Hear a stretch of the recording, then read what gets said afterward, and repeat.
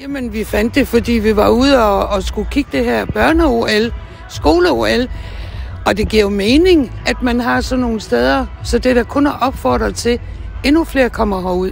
Ja, jeg har læst om det i avisen og på Facebook, og jeg synes også, det er en rigtig god idé at, øh, at have sådan noget her. Jeg skal have mine egne børnebørn med herud en gang, tror jeg.